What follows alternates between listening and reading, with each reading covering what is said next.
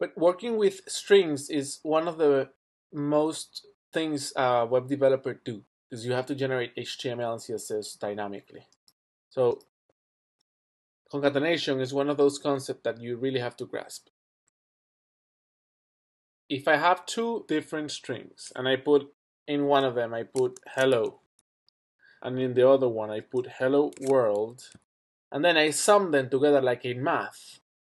If I say here variable 1 plus space variable 2 then it will become the combination of both variables in strings like hello world but with a space included because I'm putting a space in between them. Like this space is really important because we always forget about that. Like if you concatenate both together it will it will look like this. It will say hello world all together you want to put a space in the middle so you gotta append it or concatenate it to it actually it's the right word so the exercise is telling me that I have to change 1 and 2 so that it prints hello world.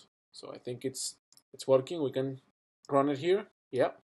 And then if I test it with my unit testing, it's also very good.